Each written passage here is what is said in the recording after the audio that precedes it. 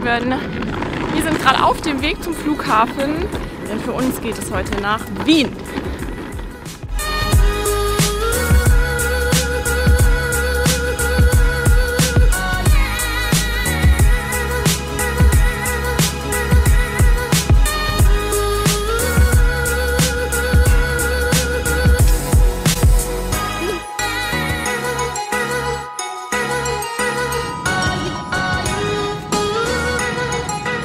Es geschafft, wir sind im Flieger nach Wien. Der Flieger hat ein bisschen Verspätung. Wir haben heute was ganz Besonderes vor heute Abend. Ähm, das werdet ihr dann später sehen.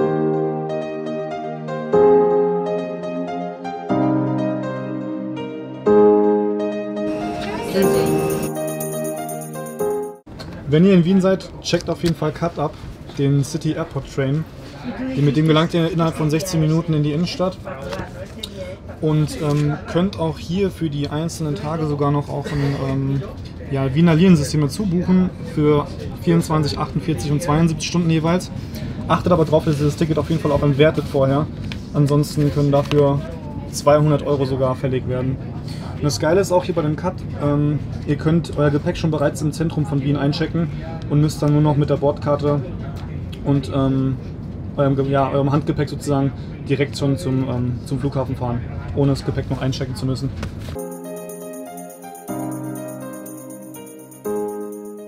Wir haben jetzt eingecheckt, machen jetzt eine fünfminütige Pause, bevor wir weiter losziehen. Wir waren jetzt eben noch schnell was essen. Es war sehr, sehr lecker. Es hieß Peter Pan, so ein Burgerladen. Richtig, richtig lecker. Wenn ihr mal hier seid, auf jeden Fall dorthin gehen. Ganz viele vegetarische und vegane Gerichte. Ähm, wir machen uns jetzt fertig. Und wer uns übrigens auf Instagram folgt, der weiß schon sogar, wo wir hingehen. Wir konnten die Kamera leider gestern Abend nicht mitnehmen. Wer uns auf äh, Instagram folgt, der weiß auch ganz genau warum. Und zwar waren wir gestern Abend auf dem Ed Sheeran Konzert im Ernst-Happel-Stadion. Das hat der Lars äh, mir und meinen Eltern letztes Jahr zu Weihnachten geschenkt. Ähm, wir konnten leider nur mit dem Handy filmen, ähm, haben aber auch nicht so viel aufgenommen, weil wir einfach die Zeit genießen wollten. Aber jetzt folgen ein paar Eindrücke von gestern Abend.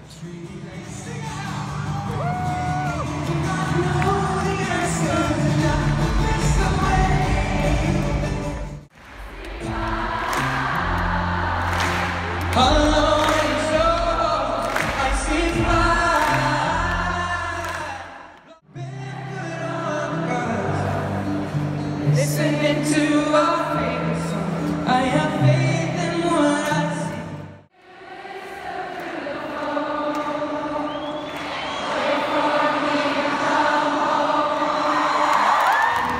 wieder auf dem Weg Richtung Wiener Innenstadt. Wir werden heute so eine Sightseeing-Tour mit so einem Hop-on, Hop-off-Bus machen.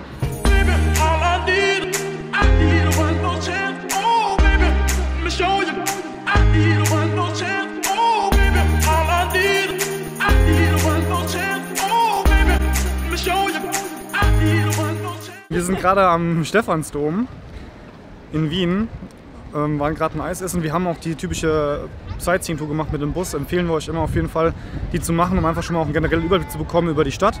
Wir werden jetzt nochmal zum Schloss Belvedere fahren, waren gerade noch ein Eis essen. Checkt auf jeden Fall mal das Zanini, hieß es, gell? Zanoni. Zanoni und Zanoni ab, genau. Mega leckeres Eis auf jeden Fall, direkt am Stephansdom. Wusstet ihr eigentlich, dass Wien mit das reinste Leitungswasser hat, wirklich weltweit? Es ist im Prinzip Quellwasser vom Berg. Also Wien ist auch als Stadt sozusagen komplett von, ähm, ja, das Wiener, Wiener Bergland, hatte die, hatte die gemeint, Wiener Bergland ähm, umgeben. Und dementsprechend wird das ganze Wasser komplett von der Quelle aus, direkt ohne Pumpen, ähm, ja, in die einzelnen Häuser und Haushalte Wiens gepumpt und ähm, hat hier, habt ihr auch in der Innenstadt in Wien rundum immer möglich, Möglichkeiten, kostenloses Wasser zu trinken und noch zu zapfen.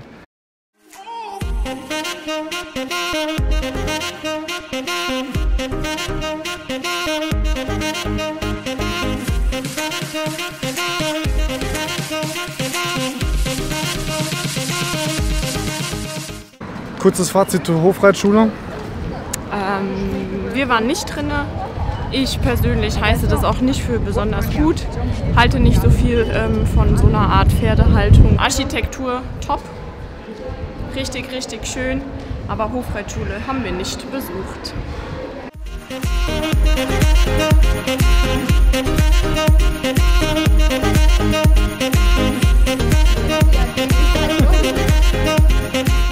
Oh, das Wasser ist echt mega geil hier direkt aus der Leitung. Sieh mir da weiter gibt es nichts wieder zu trinken. Echt cool. Achso, wenn ihr nicht, wenn ihr nicht wisst, wenn ihr nicht wisst, wo es lang geht, dann müsst ihr einfach dem Mann der Fahne folgen.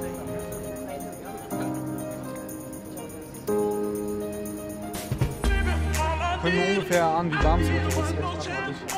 Wir stehen hier alle an jeder Schlange und wollen einfach nur was zu trinken haben.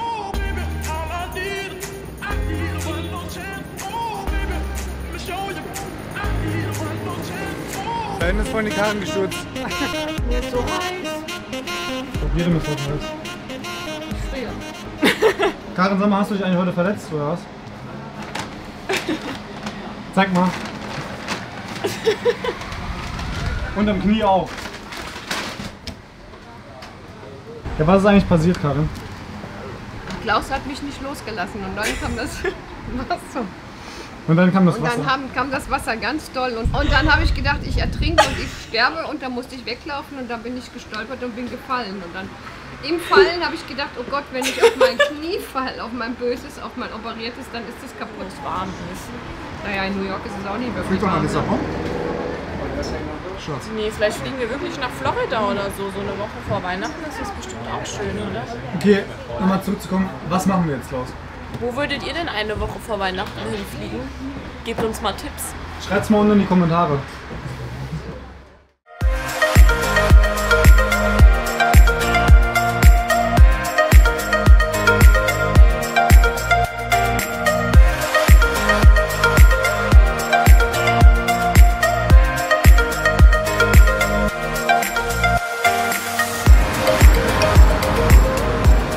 Jetzt nochmal eine zweite Tour mit der blauen Linie durch Wien. Übrigens ist das Wohnen in Wien viel günstiger als in Frankfurt. Ähm, da, Grund dafür ist nämlich, dass ähm, der Stadt selbst, also Wien, über 220 Wohnungen selbst gehören, ähm, in denen über ja, knapp 500.000 Bewohner auch unterkommen können. Wir hatten vorhin auch Wohnungen gesehen, zufälligerweise an der Straße, wo wir vorbeigelaufen sind, teilweise für 60, 70 Quadratmeter irgendwie 600, 700 Euro Warmmiete, also heißt inklusive Nebenkosten schon deutlich günstiger als beispielsweise auch in Frankfurt, was man so zahlt auch. Ja. Man hat natürlich 220.000 Wohnungen und nicht nur 200. Wir sind gerade am Schloss Belvedere. Müsst ihr euch auf jeden Fall auch mal anschauen. Ist auf jeden Fall noch mal ein bisschen was anderes als das Schloss Schönbrunn.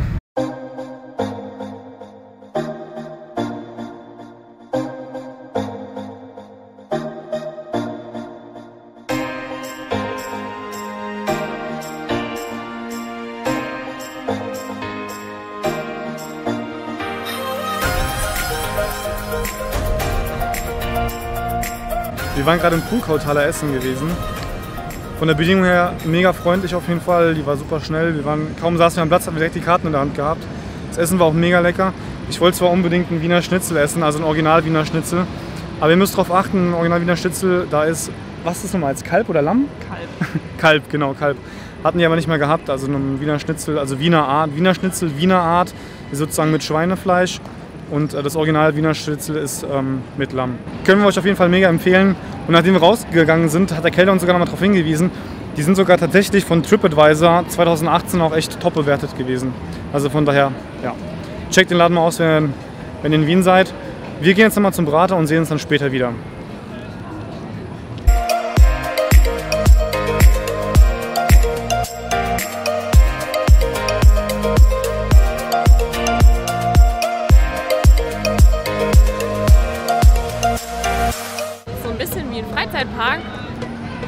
Mir gerade vor, als würde ich ins Phantasialand reinlaufen. Dort ist auch Madame.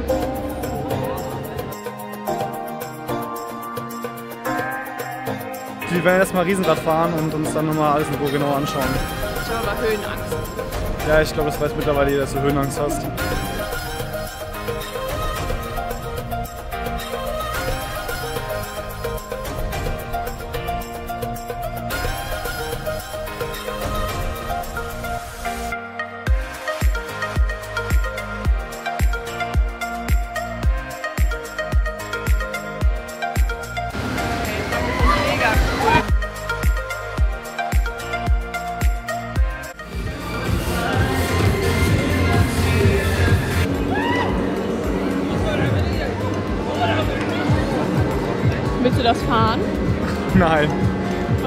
Weil du dich nicht traust. Ich würde es Ich habe machen. Höhenangst. Ich Ey, bei 100 Daumen nach oben fahren wir das Ding. 100 Daumen nach oben. Dann musst du, Nein. dann musst du. Nein. Bei 100 Daumen musst du.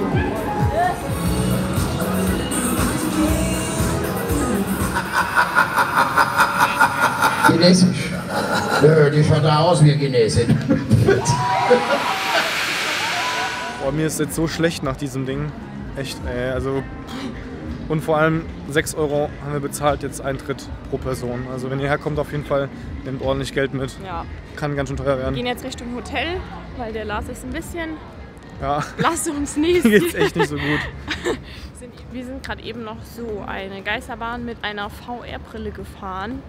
Ähm, war ganz cool, war mit Clowns, ähm, war leider ein bisschen unscharf.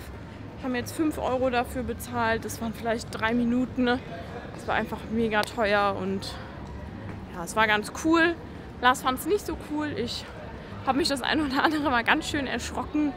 Aber wir gehen jetzt Richtung Hotel und dann ab ins Bett. Guten Morgen. Wir sind gestern echt sau spät ins Bett gekommen. Ich glaube, es war irgendwie halb zwei oder so. Mir war auch nach der Achterbahn gestern echt richtig schlecht gewesen, sodass wir nochmal McDonalds waren, weil ich musste einfach unbedingt was essen. Haben da diesen My Burger ausprobiert. Der war eigentlich ganz gut. Ja, wir werden jetzt zum Frühstücken gehen. Ähm, Ich glaube, ich werde nochmal kalt duschen, dass ich ein bisschen wach werde auch. Und ähm, ja, heute steht nochmal das Schloss Schönbrunn auf dem Plan, aber da werdet ihr später dann dementsprechend dann noch mal mehr sehen.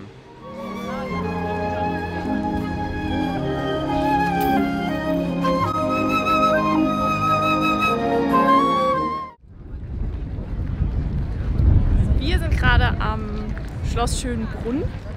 Gehen jetzt noch auf eine Aussichtsplattform. Meine Eltern meinen, das wäre mega, mega schön. Bin ich mal gespannt.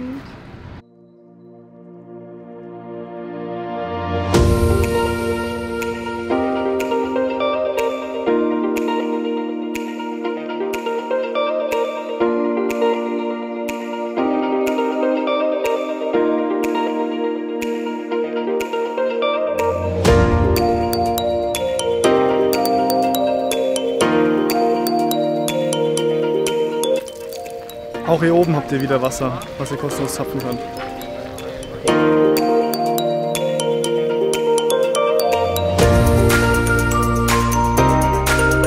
It's fucking hot.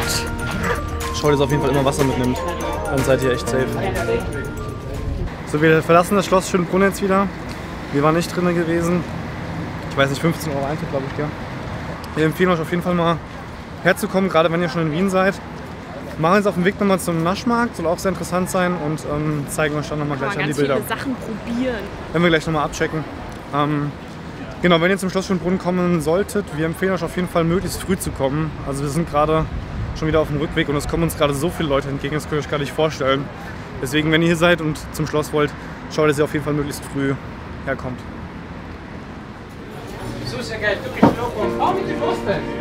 Die sind aber lecker.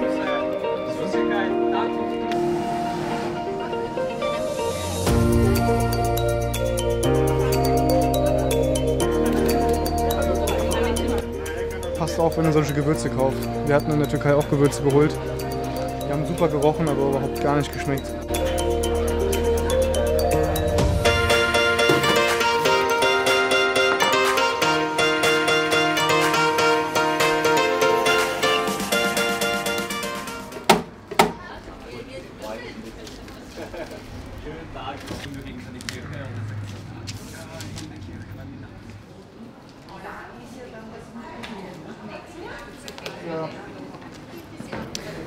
Ganz geil, ihr habt es gerade gesehen. Wir können ähm, bei dem Cut, bei dem City Airport Train, genau, schon das Gepäck bereits hier am Bahnhof noch einchecken und müssen es nicht mehr am Flughafen machen.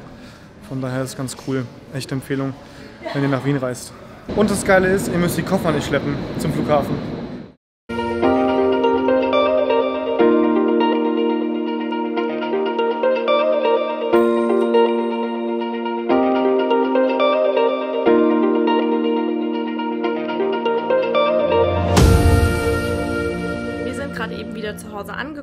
Wollten euch einfach nochmal ein ganz kurzes Fazit zu Wien geben, was uns am besten gefallen hat. Mein persönliches Highlight war auf jeden Fall das Ed Sheeran-Konzert. Hat jetzt nicht unbedingt viel mit Wien zu tun, aber es war einfach mein persönliches Highlight. Es war einfach mega schön. Also Gut, kommen wir jetzt ganz kurz zurück, was wir eigentlich euch über Wien erzählen wollen, was das Wichtigste zu Wien ist. Ähm, auf jeden Fall ähm, Schloss Schönbrunn. Was ich auf jeden Fall auch noch ganz cool fand, war der Stephansdom. Fand ich auch sehr beeindruckend, das Gebäude zu sehen, auch mal reinzugehen. Genau, was noch? Wir waren auf dem Prater gewesen gestern Abend, auf jeden Fall auch sehr cool. Auf jeden Fall abends hingehen. Ja, ganz auf- einfach wegen ja. den Lichtern und alles Mögliche. Tagsüber auch ganz schön, aber ich denke abends viel cooler als tagsüber. Ja. Aber wir waren heute noch auf dem Naschmarkt gewesen. Ist ganz nett drüber zu laufen, kann man auf jeden Fall auch mal machen. Dafür braucht ihr auf jeden Fall nicht so viel Zeit einplanen. Ganz kurz noch ähm, zu dem Cut, zu dem City Airport Train. Genau. Und zwar haben wir herausgefunden, erst im Nachhinein, dass ähm, ihr das Gepäck zwar aufgeben könnt, aber das gilt nur auch bei bestimmten Fluglinien. Da könnt ihr einfach nochmal auf der Homepage gucken von Cut. Ähm, da steht es nochmal genau drauf, welche Fluglinie auch und überhaupt. Wir sind jetzt mit Lufthansa geflogen, also wenn ihr mit Lufthansa fliegen solltet, ist es auf jeden Fall möglich. Wenn das Video euch gefallen hat, gebt dem Video einen Daumen nach oben. Vergesst uns nicht zu abonnieren. Wir sind demnächst in den USA unterwegs. Ja. Würde uns freuen, wenn ihr mit dabei seid. Und ja, bis zum nächsten Mal. Ciao!